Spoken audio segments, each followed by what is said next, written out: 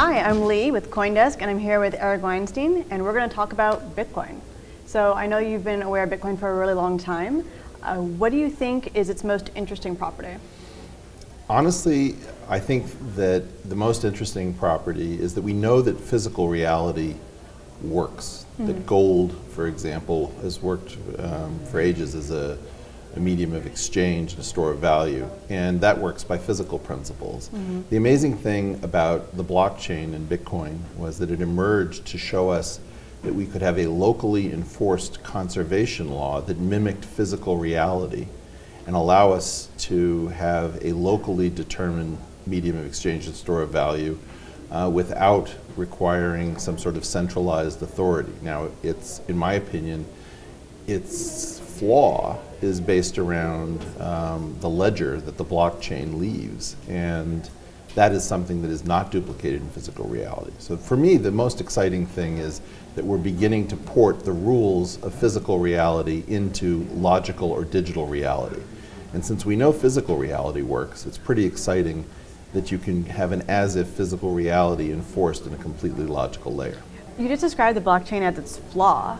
Um, do you think that the Bitcoin blockchain itself uh, will exist in the future, or that eventually we'll find some other mechanism of transferring around what is basically digital gold Bitcoin? Right. I believe that maybe the next major revolution in crypto will be the removal of any kind of ledgers. Just as, as gold or money should have no stench, uh, so should a digital token have no stench. And it, it's not enough for us to um, say that we can trade these things anonymously. It should be that when you're handed a, a, brick of gold, you have no idea who has owned it previously or where it has been. And I would imagine that the same thing will eventually be true for digital tokens.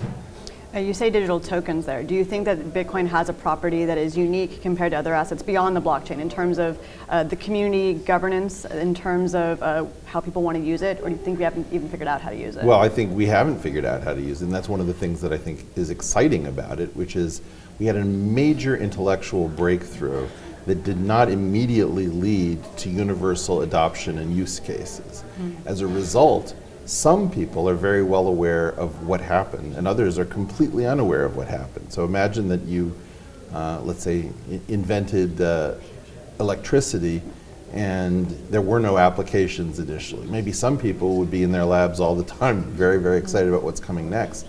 But a lot of other people would say, I, I can't see how this has any application to my life. Well, those people are waiting for the tsunami that is going to uh, explain to them uh, if not in theoretical terms, very practical terms, just how important this was. In 2017, you had tweeted something about um, dollars and other fiats backed by violence, meaning like the government has a monopoly on violence. Do you think that Bitcoin's big innovation, beyond being able to take a physical property and make it digital, is uh, separation of uh, money and state? And if so, can you elaborate a little bit on what that might mean? It's very interesting. If you think about gold, gold is born in the collision of stars, so mm-hmm. a violent activity, but not one of men. Mm-hmm. Uh, fiat currency, uh, to use um, Weber's phrase, comes from government, which is a monopoly on violence. In the weird case of Bitcoin, it doesn't have a physically violent birth, nor does it have a governmentally violent birth.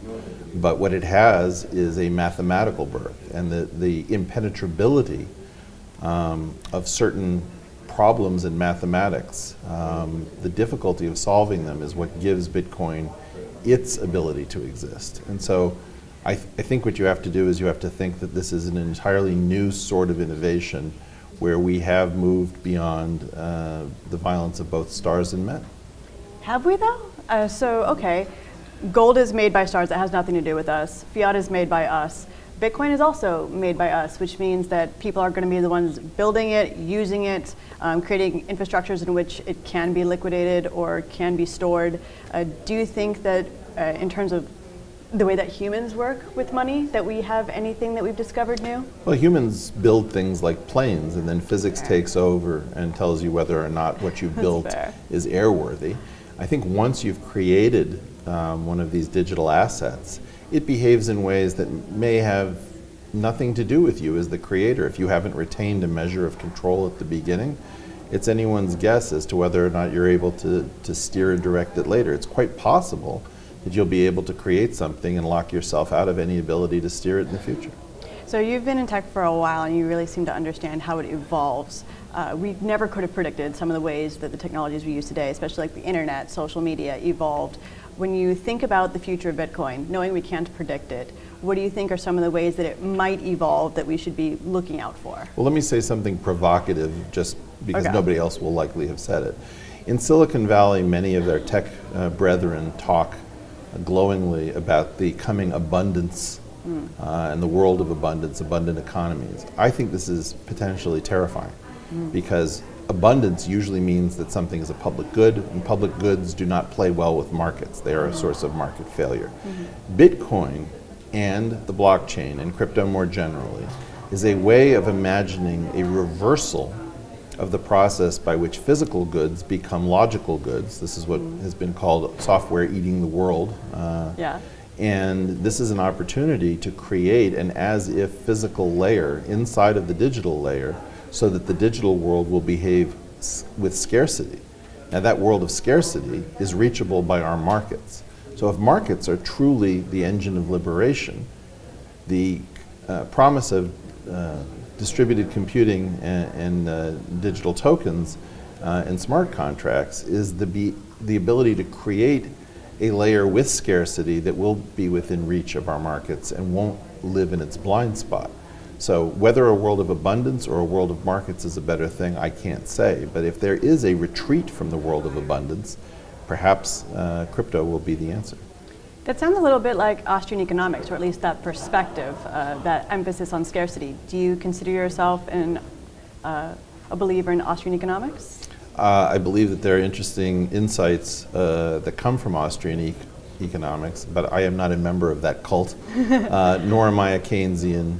Uh, I think that the most interesting uh, economics is the economics we haven't built. I think that you have to look at all of our current major schools of economic theory as being first drafts. I don't think we've, we've seen a mature economics yet, and the possibility is that it will be born here. Maybe there will be algorithmic central banking outside of human control so that you won't have the ability to fix the economy um, by a group of people whose interests may be divided between the general interest and their own. Where do you th- what do you think that Austrian economics gets wrong that maybe in the next version of economics schools of thought we might get right? Well, I think that there's a general problem about any kind of mathematical encoding of human behavior. What I've said before is, is that fitness uh, is continued through markets. So markets are the continuation of natural and sexual selection by other means. But the richness of human behavior, of agents, uh, has not been understood anywhere, in my opinion, in any of the major economic schools.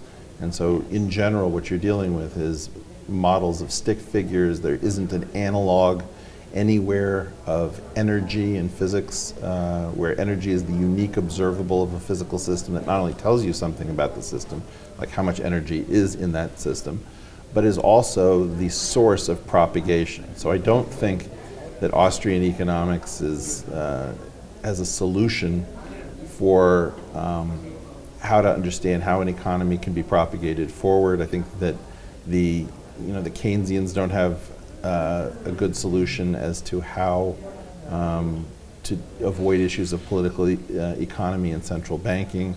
I don't think that any of the heterodox schools uh, are yet strong enough or complete enough to really claim that there is um, anything like a unified theory. And I think that the, the unification of economics will come when we understand that it has to be an as if physics, and it also has to be an extension of natural and sexual selection to the apes that we ourselves are. Yeah, I hear that. So you say that like only a few of us have realized that something monumental has happened. Um, so what do you think those few of us that realize it should be doing, should be studying, should be thinking about if we're trying to build something new for the future?